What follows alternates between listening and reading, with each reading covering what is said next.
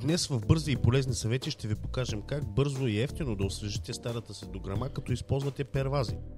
Знаете, че старата боя по стъклата е почти невъзможно да се почисти. Затова са ви нужни силикон, остър нож за рязане, рулетка и стиропорни первази. Те ни останаха от ъгъла на тавана и стените, които го едисвахме. Но решихме да не ги изхвърлеме и да направим старите дограми да изглеждат много по-добре.